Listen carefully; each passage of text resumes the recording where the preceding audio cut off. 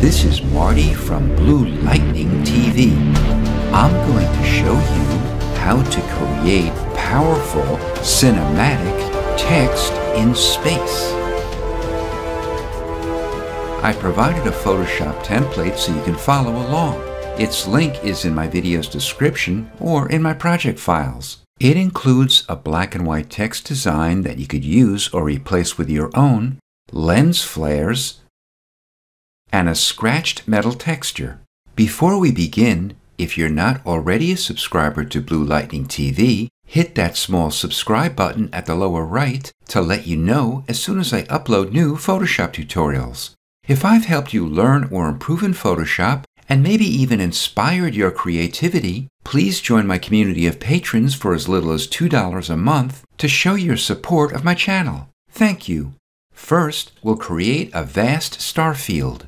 We'll make a new layer at the bottom of the Layers panel by clicking the bottom layer to make it active, and control-clicking or command-clicking the new layer icon. We'll fill it with black, but first, check your foreground and background colors. If they aren't black and white respectively, press D on your keyboard. Since black is the foreground color, press Alt or Option plus Delete. Let's name it Starfield. Hide the metal texture layer. We'll convert the star field layer into a smart object so we can modify it later if we want. To do this, click the icon at the upper right and click Convert to Smart Object. Go to Filter, Noise, and add noise. Make the amount 35%, Gaussian, and check monochromatic. Go back to Filter, Blur, and Gaussian Blur. Make the radius 0.3 pixels. Click OK or press Enter or Return. Open your Levels window by pressing Ctrl or Command L. Make the input black level 120 and the input white level 180.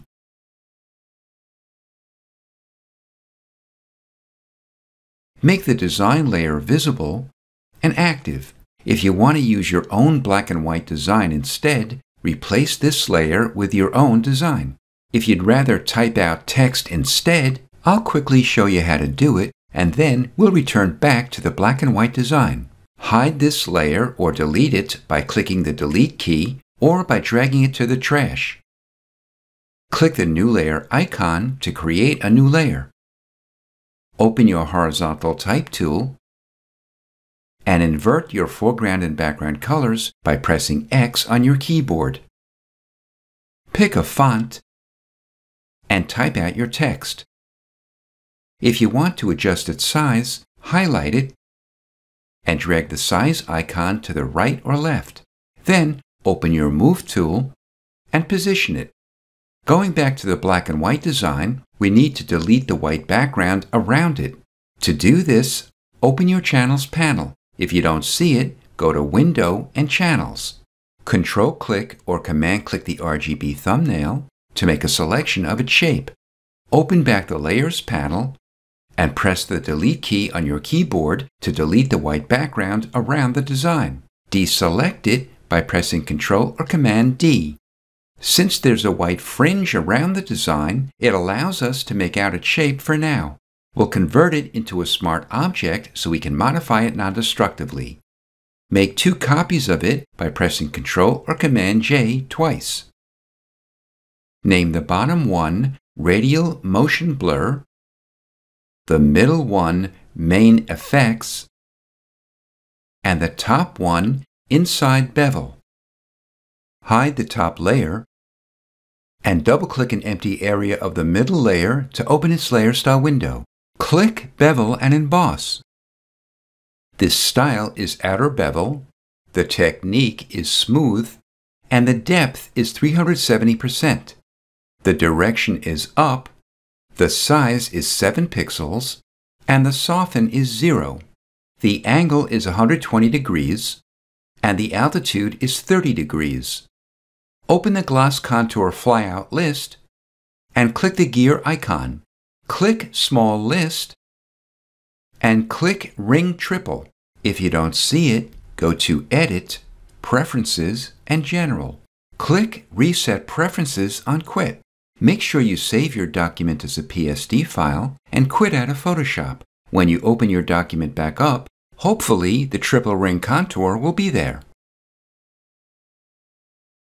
The highlight mode is color dodge, the color is white, and the opacity is 85%. The shadow mode is multiply, the color is black, and its opacity is 100%. Click Contour.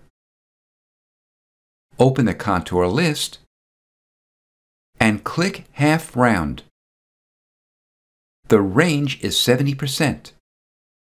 Click Stroke. The size is 7 pixels. The position is outside. The blend mode is normal. And the opacity is 100%. The fill type is gradient. Open the gradient list. I'll click the violet, green, orange preset, but feel free to experiment with the others. The style is linear, the angle is 90 degrees, and the scale is 100%. Click Inner Glow and the color box. In the hexadecimal field, type in F779FF. The blend mode is linear dodge, and the opacity is 50%. The technique is precise, and the source is edge. The choke is 100%, and the size is 2 pixels. The contour is linear, and the range is 50%. Click Gradient Overlay. The blend mode is subtract, and the opacity is 100%. Open the gradient list. If you don't have the metals gradient folder in your list, I provided it for you in my video's description or project files. If you'd like to use it, you'll need to place it into your gradients folder of the presets folder in your version of Photoshop. Once it's there, click the gear icon and click Import Gradients. Click Metals and Load. The Metals folder should now be in your list. Click Silver. Check Reverse. The style is linear, the angle is 0 degrees, and the scale is 150%. Click Outer Glow and the color box. Type in 005AFF. The blend mode is linear dodge, and the opacity is 30%. The technique is softer, the spread is zero, and the size is 250 pixels. The contour is linear, and the range is 50%. To save space in the Layers panel, let's collapse the effects. Make a copy of the layer to brighten the outer glow. Make the main effects copy active, scroll down, and make Flare 3 visible and active. Change its blend mode to screen. Make Flare 2 visible and active and change its blend mode to linear dodge. Reduce the opacity to 50%. Next, We'll fill our design with the metal texture. Make the scratched metal layer visible and active. Press Ctrl or Command and the right bracket key until it jumps above the main effects copy layer. We'll clip it to the main effects copy layer by pressing Alt Ctrl G on Windows or Option Command G on a Mac. You can also go to Layer and create Clipping Mask. Next, we'll brighten the texture click the adjustment layer icon and click Levels. We'll clip it by pressing the hotkeys as before, or you can click the clipping mask icon. In the Input Midtone field, type in 1.4, and in the Input White field, type in 200. In the Output Levels Black field, type in 90.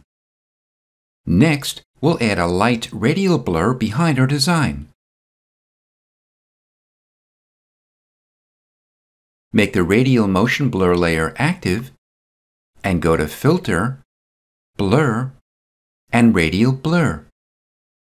Make the amount 100, the blur method zoom, and the quality best. Right now, the radial blur is dark because its source layer is black, so we'll invert it by changing its blend mode to divide. Now it's too bright, so reduce its opacity to 20%. Next, we'll etch the inside of every shape in our design. Make the inside bevel layer visible and active. Reduce the fill to 0%. Doing this makes whatever shape inside this layer invisible, but it'll retain the full visibility of any effects we add to it. Double-click an empty area of the layer to open its layer style window. Click Bevel and Emboss. Change the style to Inner Bevel and the technique to Chisel Hard. The depth is 100%, the direction is up, and the size is 10 pixels. Uncheck Global Light. This unlinks the angle and altitude of shading for this layer from other layers using Bevel and Emboss. Make the angle 130 degrees and the altitude 20 degrees.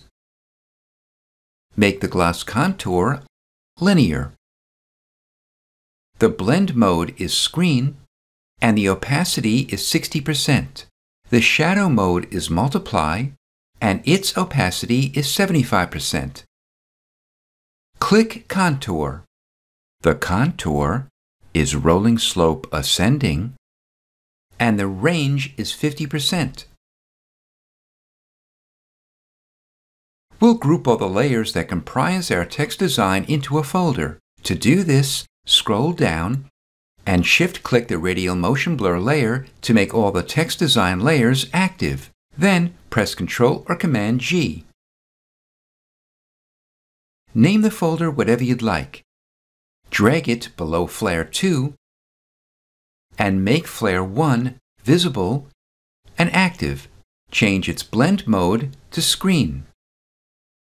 If you want to angle this flare, press Ctrl or Command T to open your transform tool, go to a corner, and when you see a curved double arrow, rotate it to an angle you like. Then press Enter or Return. I think I'd like to brighten Flare 3 a bit more, so I'll make that layer active, make a copy of it, and lower the copy's opacity to 50%. This is Marty from Blue Lightning TV. Thanks for watching.